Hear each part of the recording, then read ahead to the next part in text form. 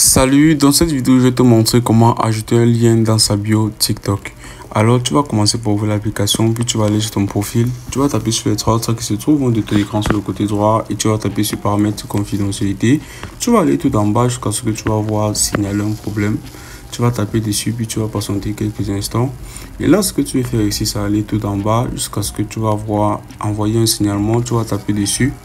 Tu vas patienter encore une fois de plus jusqu'à ce que tu vas être sur cette page aussi. Puis tu vas rédiger ce commentaire-ci. Bonsoir, cher service client. Je souhaite ajouter un lien sur ma biographie TikTok et là maintenant je n'y arrive pas. Pouvez-vous m'aider s'il vous plaît? Après que tu auras fait cela, tout ce que tu vas faire c'est taper sur